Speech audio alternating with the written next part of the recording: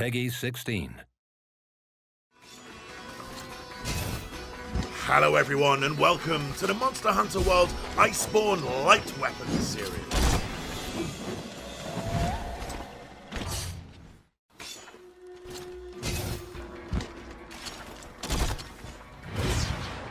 Sword and Shield. The Clutch Claw has made the Sword and Shield the king of versatility. This nifty weapon fires off slinger ammo by the shedload. Get the drop on the monsters by letting off slinger bursts at any moment. There are both new Clutch Claw combo routes and attacks that reward perfect timing of bonus damage.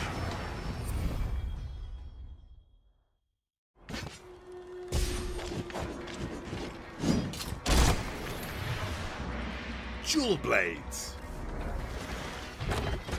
The lithe and agile Dual Blades are a relentless threat in the hands of an experienced hunter and can force monsters to drop slinger ammo. Pop monsters in the face with slinger bursts after attacking, whilst elegantly dancing around their counterattacks.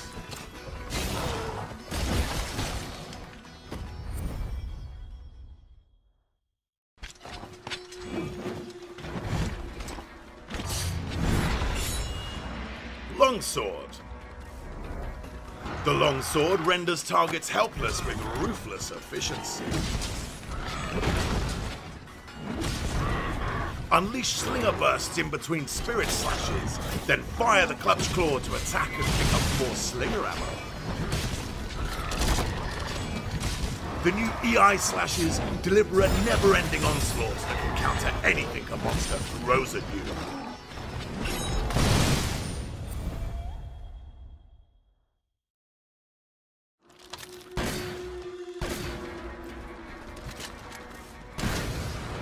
Bowgun. The light bowgun is quick on the draw with the slinger. Tinker with your weapon using a deluge of mods. Evading reloads, Wyvern Blast counters. With a plethora of upgrade mods now available, the choice is yours.